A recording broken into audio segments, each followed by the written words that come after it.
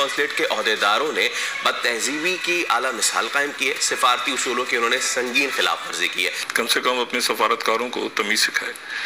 اور یہ بڑی بنیادی اس کا کوئی تعلق جو ہے وہ یہ نہیں ہوتا کہ آپ کا کوئی آپ کے کسی ملک سے کیا تعلقات ہیں؟ انڈیا کے قومی ترانے کے اوپر آپ لوگوں کی ٹانگوں میں کچھ نہیں ہوتا۔ وہاں تو ایک منٹ میں سیدھے ہو کے کھڑے رہتے ہیں وہاں پہ وہاں پہ تو بیٹھ جانا تھا نا۔ یا وہاں سے ہٹ جانا تھا۔ وہاں پہ تو آرام سے سیدھی لائن میں جو ہے وہ سب کے سب یوں کر کے کھڑے رہے وہاں پہ کوئی تکلیف نہیں ہوئی۔ یہ نیشنل اینتم چل رہا ہے یا پھر بھائی آپ ہے کوئی گانا وانا گا رہا ہے یا کوئی بندہ رو رہا ہے کسی کی اماں مر گئی۔ وہ یہ کہتے ہیں جی پاکستانی ترانے کی ہم نے بے توقیری ہمارا مقصد بالکل نہیں تھا۔ ترانے میں میوزک تھا اس لیے کھڑے نہیں ہوئے۔ کہ اگر وہ اس کو مناسب نہیں سمجھتے بدت سمجھتے ہیں تو اس وقت وہ حال میں موجود نہ ہو اٹھ کے چلے جائیں۔ ایسی بدتمیزی میں نے پہلی دفعہ دیکھی ہے شاید دنیا نے پہلی دفعہ دیکھی بندے کھڑے نہیں ہو رہے اٹھ کے عجیب معاملہ ہے۔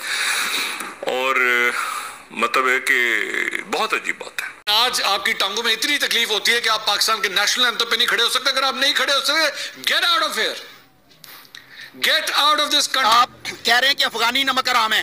کیا نواز شریف نمک حرام نہیں زرداری نمک حرام نہیں بلاول نمک حرام نہیں؟ یہ نمک حراموں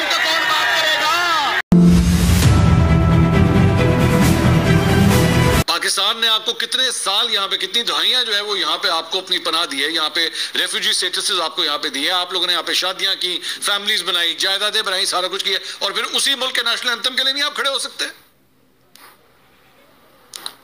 اور وہ، یہ تو بات ہوگی نا افغانستان کی۔ اب ذرا ذرا پاکستانی سائڈ کے اوپر بھی آ جائیے۔ وہ جو کہتے تھے شیکلز آف سلیوری جو بار بار آپ لوگوں کو کہتے تھے جناب shackles of slavery have been broken انہوں نے ریسپیکٹ کی تمام تر وہ جو گرے تھی نا، آج ان کو بھی توڑ دیا انہوں نے۔ دیو آلسو بین بروکن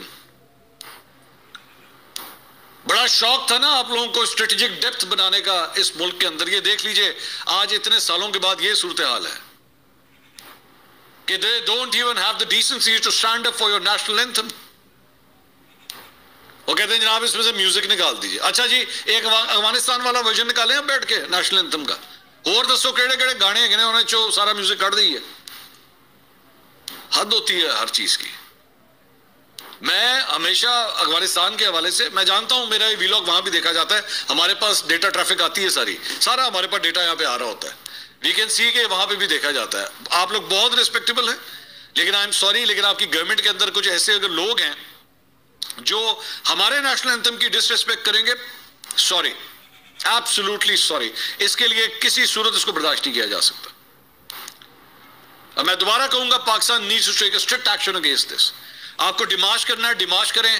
یا ناپسندیدہ شخص اس کو ڈکلیئر کر کے اس کو پاکستان سے باہر نکالنا ہے ڈو اٹ ڈزنٹ میٹر